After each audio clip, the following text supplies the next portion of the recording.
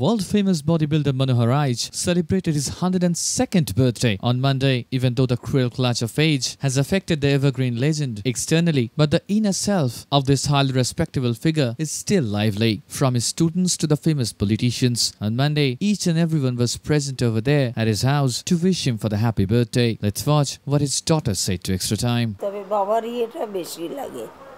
দেখতে চায় না ছবি টবি কি আর দেখবো কি আর খালি গা হব, এরকম মাঝে মাঝে হাও হতাশ করে। তো কিছু তো করার নেই তো বয়সের ব্যাপার। এমনি তো শারীরিক সব ঠিক আছে।